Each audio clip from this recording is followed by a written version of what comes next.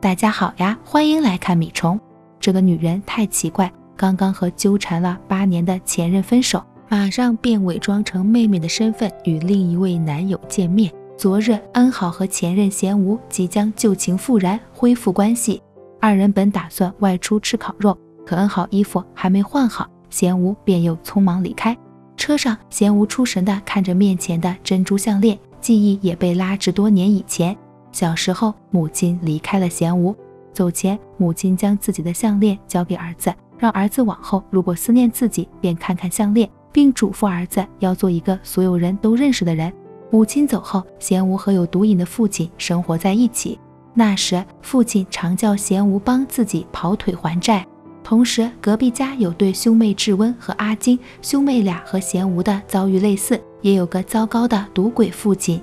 某天，贤吾和兄妹俩一起替各自的父亲去还债，债主是个开赌场的老阿姨。老阿姨数钱后发现，该还给自己的钱少了一万块，这一万块是被兄妹俩的父亲拿去买酒喝了。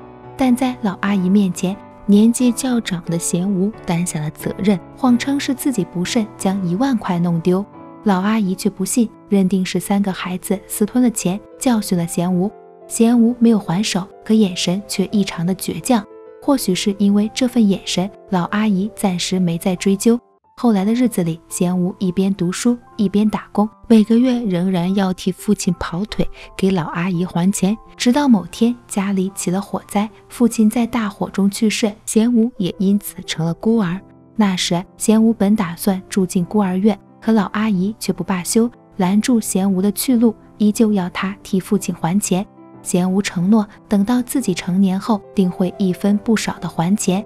或许仍然是贤无的这份倔强。老阿姨闻言竟表示，贤无父子的债自己就全当还清了，但他有个条件，那便是让贤无住进自己家，而不是去孤儿院。只要贤无住进来，老阿姨承诺自己会像其他家长一样对他好，为他支付学费、生活费等等。当然，作为交换，老阿姨称。等到自己年老体弱，贤吾便要懂得知恩图报，要给自己养老。除了老阿姨自己负责养育贤吾的，还有另外四个阿姨以及一位满身风情的酒吧老板娘姐姐，一共六个人带六人年迈，贤吾都要报恩。贤吾答应，于是从此住进阿姨们开设的赌场。此外，隔壁兄妹俩的父亲丢下孩子跑了，老阿姨收不到钱。贤吾拜托老阿姨给兄妹俩一日三餐，并承诺待自己长大后会将兄妹俩父亲欠的债一并还上。老阿姨被说服，从此收留了贤吾及隔壁智温、阿金兄妹。随着时间逝去，贤吾和兄妹俩与阿姨们逐渐成为家人，家里也摆满几人横跨将近二十年的无数张照片。渐渐的，老阿姨们日渐年迈，老去成为贤武口中的奶奶。曾经风情的酒吧老板娘姐姐也不再年轻。一日，其中一位奶奶去世，葬礼上，姐姐问贤武打算何时结婚，这可是奶奶们多年来的期盼。贤武却面色悲伤，认为没有哪个女人愿意嫁给这样的自己。按照当初的约定，现在的她该照顾几位年迈的奶奶。这是承诺，是还债，可对另一半而言，这是压力，是不必要的重负。姐姐却一眼看穿贤吾的心思。事实上，贤吾并非所谓的不婚主义者，只是他爱上的那个女生不适合这里的生活。那时，贤吾正和恩好热恋。一次，贤吾不小心弄丢母亲当年留下的珍珠项链。不久后，恩好帮男友买到了一串一模一样的。贤吾太喜欢这样的女友。恩好要将项链挂在贤吾的车上，好让男友每天都能看到。贤吾却嫌碍事，嬉笑着取下。而现在，自从与恩好分手后，这枚代表着两人甜蜜回忆的珍珠项链，贤吾每天每刻都挂在车上。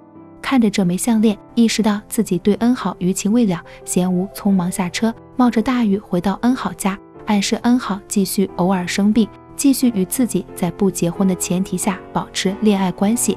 然而，对贤吾失望的恩好果断拒绝了前任。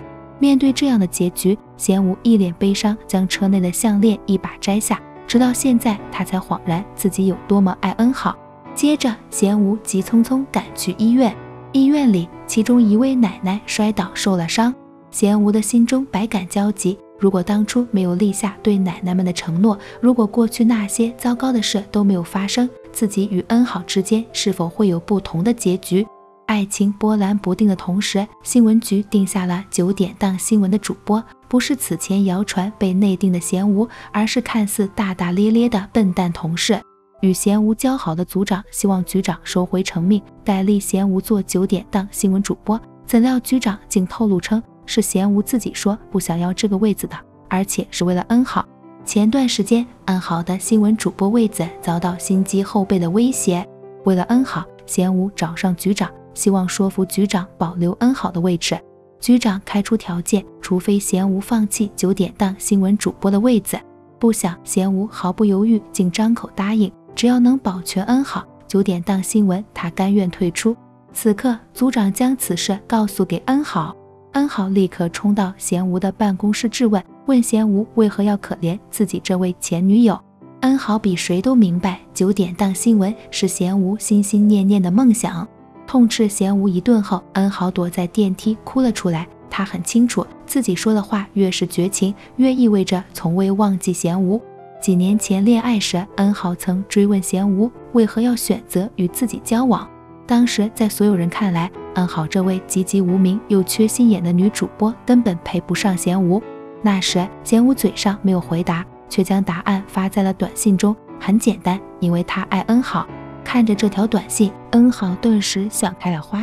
另一边，隔壁新闻局里传出大八卦，有狗仔拍到周岩与阿岩深夜在酒店密会的照片。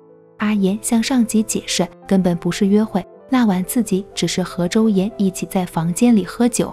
对于这段莫须有的桃色绯闻，周岩亲口向阿岩道歉，认为是自己连累了对方。阿岩却个性单纯。一边拿周岩的手帕哭哭啼啼擤鼻涕，一边在意的照片里把自己给拍丑了。对周岩而言，唯一关心的只有惠利。然而连续好些天，惠利都没有来停车场上班，周岩的心中满是失落。